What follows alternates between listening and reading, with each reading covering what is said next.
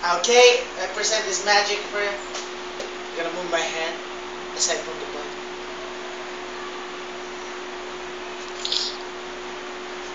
Oh yeah! you can feel that magic.